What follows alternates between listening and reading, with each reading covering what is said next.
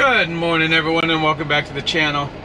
It's Mark Bennett here and today we're going to discuss reasons that drivers are getting upset, at least here at Swift and on the account that I'm on.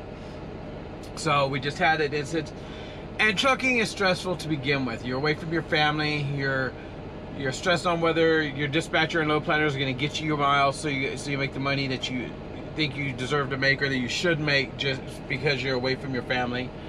Um, the weather right now is making it a little stressful because of the rain and snow in some areas, the high winds. Low freight volume is, you know, stressing drivers out. Uh, it's also stressing the office employees out. But here's the thing, we just had this happen yesterday. A driver here on this account that I'm on was told that they would get a load from here going to Las Vegas, Nevada, and then down to Colton, California to pick up to come back. Now he told the load planner that he didn't get off his 34 hour restart till 10 a.m.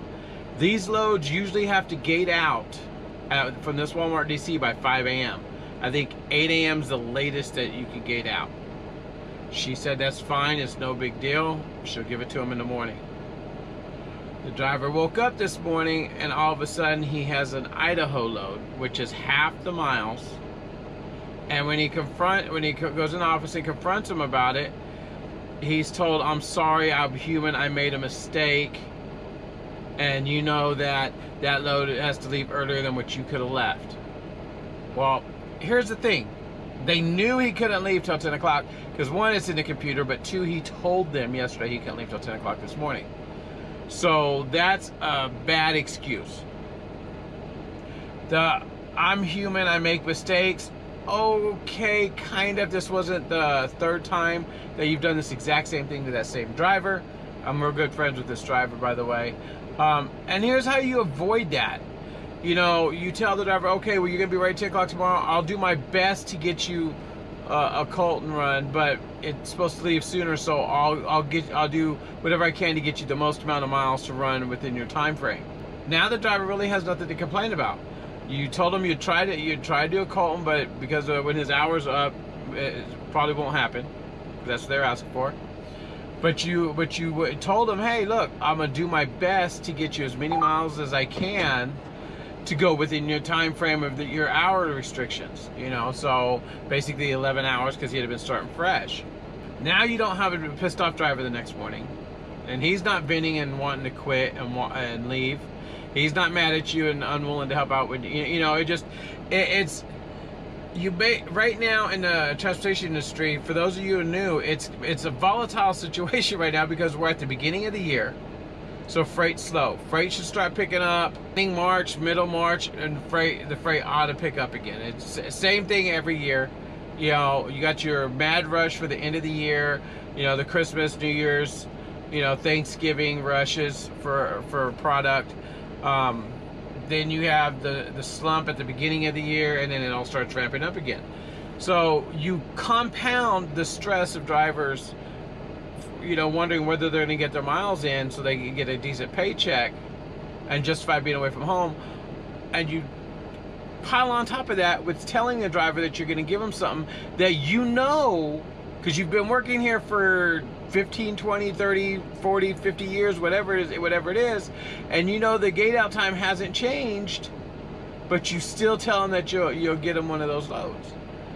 Uh, it just, it, it, it boggles my mind that you know what people will do and say to drivers to get us to be quiet or to so they don't have to deal with us just be honest with us we may not like the answer but be honest with us. It's the same thing if i told you yeah i can do that load and i can make it on time.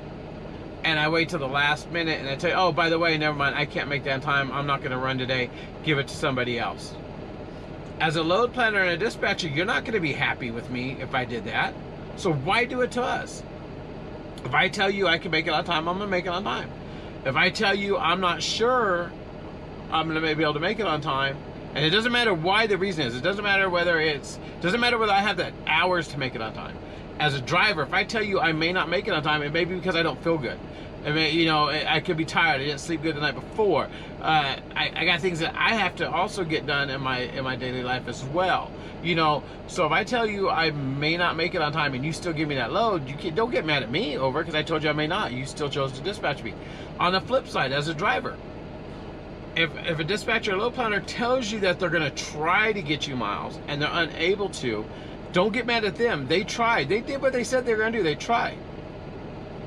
Now, let's reverse that to what happened yesterday.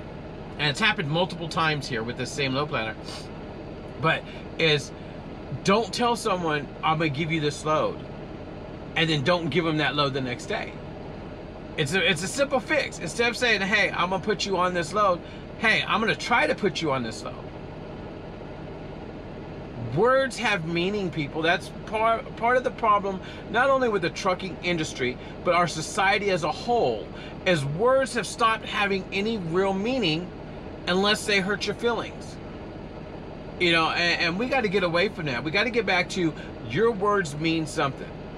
If you say you're going to do it, do it. If you don't think you're going to be able to do it, or there may be a possibility that you can't do it, say you'll try to do it. Because then you're not lying to someone. You're not defying their trust. You're not, you know, it, it just, I, I've been a transportation manager. I've been a dispatcher.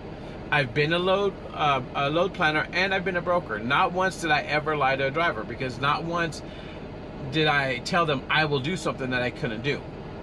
Now, have I upset drivers? Yes. Have I disappointed them because I told them I would try to do something and I was unable to do that? But has that happened? Obviously, of course it has. I'm human, you know. But I've never told someone I would do something if I couldn't, if I didn't know I could do it. Just because I'm not setting myself up to get yelled at, to get, well, I'm not setting myself to get yelled at, even though I have been yelled at. But I'm not setting myself up to be a liar either, because like I said, words mean something. Well, we're on a load right now. We gotta do a little two-stop load. Uh, we got two locals. So if you're in the office listening to this at Swift, or any other major carrier, or even a small carrier, mom and pop's carrier, if you're watching this video, be mindful of the words that you use because you don't like it when we tell you we're going to make it on time and we're late, whether it's our fault or not. It becomes a lie. Then you start using that, well, I can't trust that you'll deliver on time, so I have to not I can't give you the good run bullshit line that you that you guys give us. It's a two-way street. Don't lie to us, we won't lie to you and the transportation industry that would improve the transportation industry probably by 25%. I'd almost be willing to bet that driver retention rates would go up if people would stop lying to, to each other. And, that, and that's both ways. The driver lying to the load planners and the load planners and dispatchers lying to the drivers. We're all grown adults. Tell the truth. Sorry for this little rant. I know it's a, this one's going to be a short video, but I, I had to bring, I wanted to bring this to light and let you know this is why drivers are upset out here. This is why drivers don't, tr- don't trust load planners. The same reason that you give, you tell, you talk about drivers saying, well, they said they'd make it on time, or they were late, but they didn't, they didn't communicate with us. You know, it's it, it's a two-way street. If we both clean up our acts, make your words mean something, the industry would be a lot better. And that's just a small step we could take to improve our industry that we're in. Please comment, like, and subscribe down below.